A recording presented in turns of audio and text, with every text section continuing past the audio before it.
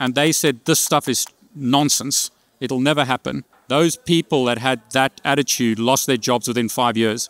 But the people who rode that wave got really or became really successful. Do you feel it's the same thing now with AI? It's like we're at this fork in the road. You either become an AI enabled engineer or you you, you have you have problems. Yeah, so we're living in an AI world. We are in the AI age. And so people need to understand how to work with it, how to use it to 10x their own superpowers. So I don't I don't think it's an idea that you can avoid it. You're constantly going to have to learn those new skills and incorporate it into your practice. Everyone, David Bombal back with Par. Par, great to have you back on the show. Thank you so much for having me, David. I'm delighted to be here. Par Cisco certifications have changed my life, changed the lives of so many people. But I think a concern a lot of people have with all the developments in AI, how is AI going to affect, you know, certifications? How is AI going to affect perhaps even jobs? Are jobs going to be available? What are you seeing? Yeah, you know, it is a topic that we are putting a tremendous amount of thought and effort into. We know how important our certifications are. In fact, our certifications today show up in over 60% of job postings that call out certifications. The stories that we hear, all the way from our Net Academy students, all the way up to CCIEs with a little uh, experience like you, they, they, they're just so fantastic. They talk to the strength of the skills that people have earned and the expertise that's needed in the market. So we take this very seriously. One of the things that Cisco has done, and we're really excited about because it's providing us deep insights, we created an ICT consortium. This is in conjunction with the likes of Accenture, Microsoft, Google, Eightfold, and we're taking that brain trust to try to anticipate in ICT roles like a network engineer, like a cybersecurity analyst, what are the skills that are going to be needed? So it's not so much the focus on the roles as it is the skill transition within those roles. And how do we, Cisco, adapt quickly to ensure that the skills that we are enabling are reflected in the skills that are needed in the market as well as our certifications. So can you give us sort of like what's happening? Like what, what have you have you had any results from those studies? What are you seeing? We we absolutely are and the results are going to sound a little daunting, but but there's a rainbow with it. The results that we're seeing are that in ICT roles, up to 90% of the skills that are needed could transition over the next five years. Oh, wow. It's, it is significant. AI is here, It yeah. is upon us. Now, how we adjust and react to that, we also feel really positive about. And because of the space that we're in, I think it is a really good space to be in. And the reason why is when we work with and look at the World Economic Forum. Are you familiar with the World yep, Economic Forum? Yep. So they're that think tank, that brain trust that looks together with private and public, government, public sector, um, as well as academia to see what is happening in the world.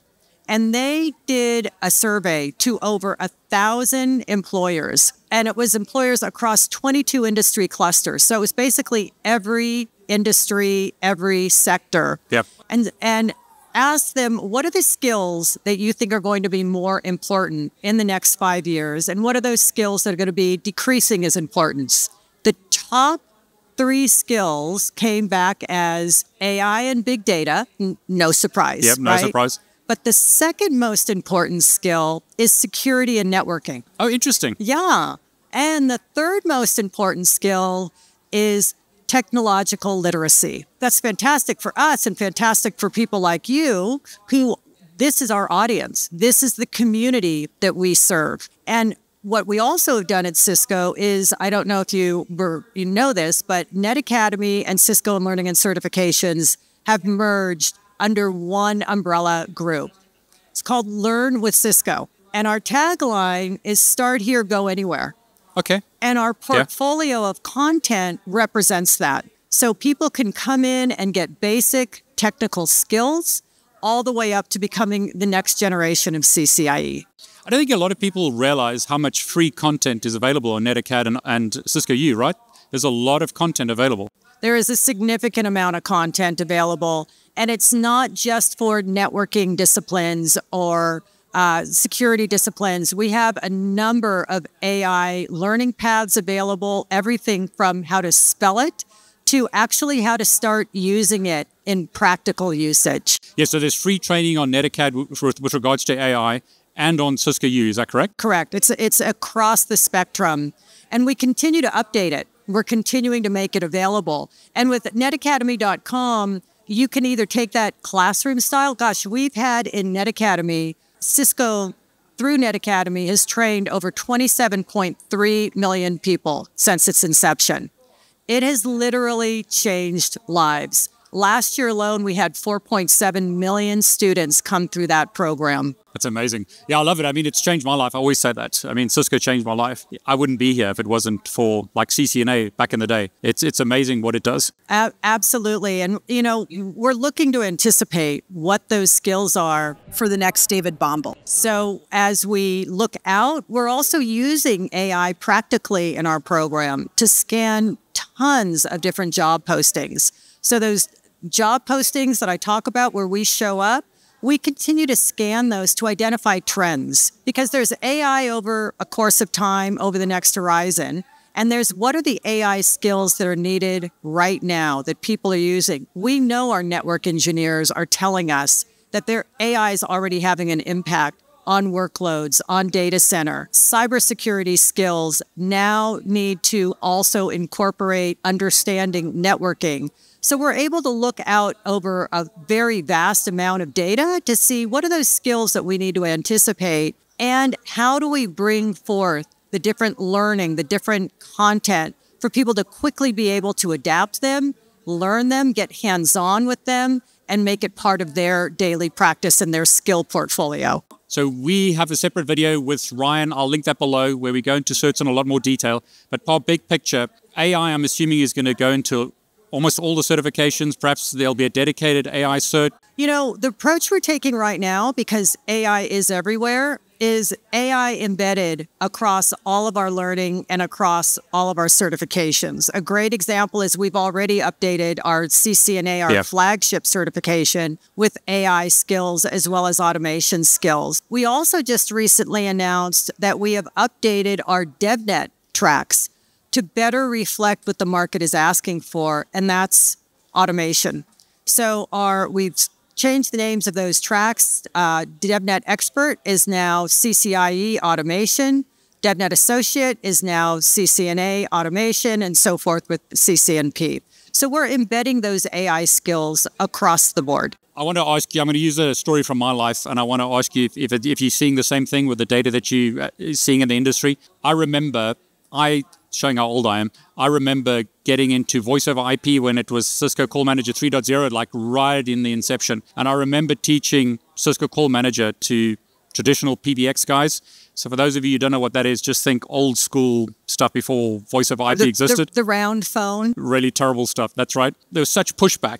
And they said, this stuff is nonsense. It'll never happen. Those people that had that attitude lost their jobs within five years. But the people who rode that wave got really or became really successful. Do you feel it's the same thing now with AI? It's like we're at this fork in the road. You either become an AI enabled engineer or you you, you have you have problems. Yeah, so we're living in an AI world. We are in the AI age. And so people need to understand how to work with it, how to use it to 10x their own superpowers so I don't I don't think it's an idea that you can avoid it. You're constantly going to have to learn those new skills and incorporate it into your practice. Organizations are looking at business processes. How do we re engineer our business process to use AI in the appropriate fashion? So it's not something that can be avoided. It's something that we need to embrace. It's, I guess the example would be I don't want to use the internet, right? I mean, you, yeah. it's the way the world functions today but it's an advantage for young people. I think the if you have very little experience or you're new to the industry, you can leapfrog, right? You can go really, really far and just ride this wave. You need to understand premises behind it, concepts and skills yep. behind it. So it's not that you can just jump into network engineering and not have to understand those skills. It's a valid point. But yeah. you can leverage AI to do exactly what you said leapfrog over areas and skills that you would otherwise take a very long time to uh, have to go back and learn that may not be relevant going forward. And again, our program is doing everything we can in an accelerated way to make sure that people can get that information, acquire those skills, even using AI as tutors within our platforms and personalizing our content so that we can help individuals get the skills that they need in a very personalized way. I've been ignoring AI. Is it too late for me? No, it's never too late. So we have a ton of AI tutorials, both across netacademy.com as well as in Cisco U. Everything from as a network engineer, what's the best way for me to prompt templates with prompts in them so that you can go ahead and jumpstart. We just released a um, AI tutorial last week, the practical use of ChatGPT and agents for IT engineers. So we're doing a lot. It is not too late, but start now. I think that's the advice, right? The this wave is here. You can't ignore it. Like you said about the internet, either leverage it to make your life better, or you, you're going to have problems. So jump in. Absolutely. And but I'd also leave you with this because it's not just network engineers. It's every role, every sector. Everyone now is a technologist, and we're providing this. We're getting that access to to uh, technology through AI. I, I, just want to also highlight that I interviewed Jeetu recently, and he said that Cisco's an AI company. I think a lot of people, perhaps the older generation, perhaps still stuck that Cisco is a networking company, but Cisco does so much more than that. So if you think about it this way, the network and security are the lifeblood of an AI powered world. And that's because every AI application, every cloud service, every digital interaction is on the network. So we absolutely are an AI company. And the skills that we provide are those that are going to help make an AI powered world successful. And I think network engineers are going to be in more demand than ever now because of this. Well, absolutely. As I as I stated from the WEF skills that survey, that was they were number two, number two across every sector, across every industry. So let's just highlight that again. It was AI number one, AI and big data number one, security and networking number two, technological literacy was number three. Now, the fourth that we didn't talk about was critical thinking. And that brings up a whole interesting topic. And one of the things that we have found, and I'd be curious about your experience, is that with our network engineers, especially our CCIEs, there's a tremendous amount of critical thinking that's needed. You, you have to understand the basic concepts to be able to ask the appropriate questions.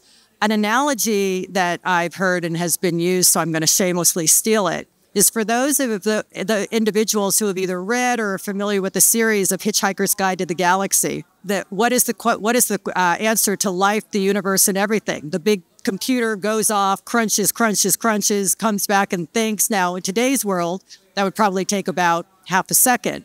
Came back. Do you remember what the answer was? 42. And everyone sat around going, "Well, what does that mean?" The computer answered the question, but the wrong prompt was given. So no one understood it. It's that similar world that we're in. We need to understand how to prompt correctly. And we have a lot of that content and a lot of that skilling across both Net Academy as well as Cisco U. Par, thanks so much for sharing. I think it's a worry for a lot of people whenever there's a change in life, but in tech, one constant, it's always changing. It, it is always changing. And in an AI powered world, everyone is a student because skills are going to be impacted, jobs are going to be impacted. And it's not about jobs disappearing or appearing, it is about the skills that are needed to do jobs based on AI.